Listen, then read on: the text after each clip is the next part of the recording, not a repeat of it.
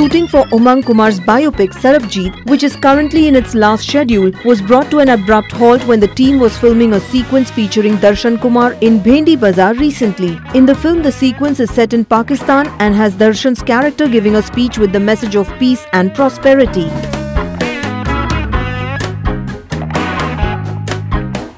It sparks off protests from some members of the gathering brandishing placards with anti-India slogans in Urdu. Incensed by the slogans, a group of locals in Bhendi Bazaar raised objections claiming their sentiments had been hurt.